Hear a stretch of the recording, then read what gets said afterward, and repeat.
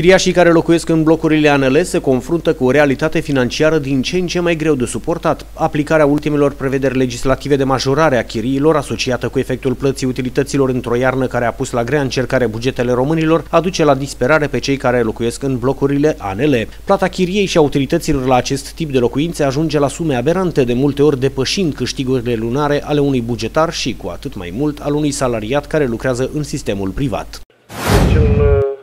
Deci, în hotărârii de guvern 251 din 2016 se modifică modul de calcul al uh, chiriei pentru locuințele ANL și se are în, uh, în vedere la stabilirea chiriei valoarea de înlocuire pe metru pătrat anual prin ordin de ministru pentru vânzarea locuințelor ANL.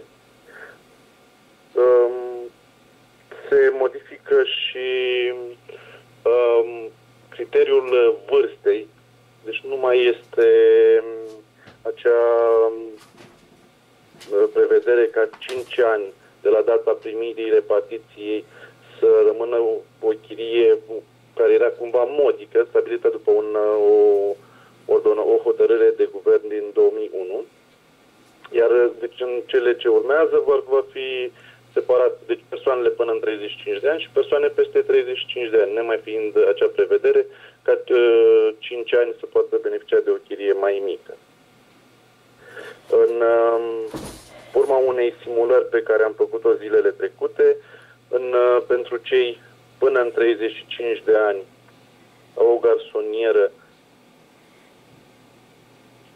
prețul chiriei va fi undeva în jur de 1.600.000, 160 de lei noi, Ehm, pentru un apartament în jur de 240, dar asta este în funcție de suprafață. Pe fiecare tronson de bloc se calculează la suprafața exactă a locuinței. Pentru cei peste 35 de ani, chiria se situează undeva la garsoniere în jur de 220-230 de lei, iar la apartamente 300 330.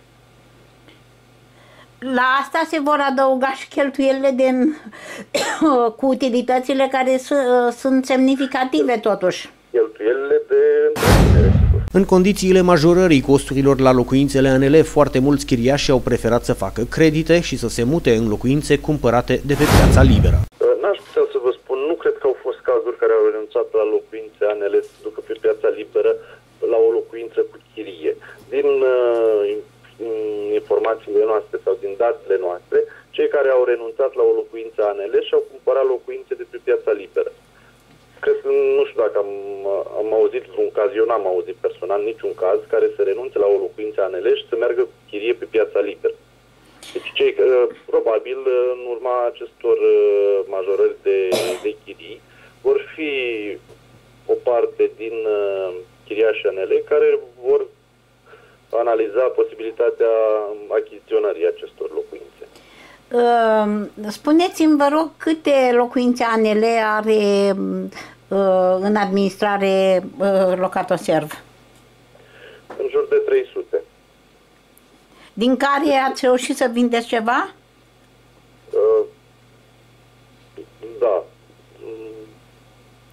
În jur de 10.